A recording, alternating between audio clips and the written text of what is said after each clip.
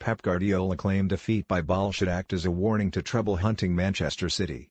City, 16 points clear at the top of the Premier League, should wrap up the title in the coming weeks. But Guardiola has told his stars that their levels cannot drop in the league if they are to achieve Champions League glory. I know everyone wants to anticipate when we are going to win the title, the City boss said.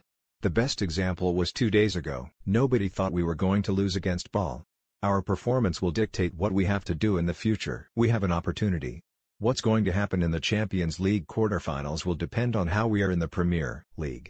Guardiola admitted he doesn't favor playing on Monday nights as City head to Stoke City after the weekend. They lost against Wigan three weeks ago and only drew with Everton back in August. I have a bad experience on Mondays, he added. We need to be focused because Stoke away is always complicated. They are fighting. This season is exceptional because the distance is not normal. It's almost done, people don't believe me, but we're not champions, yet. Chelsea are still the champions.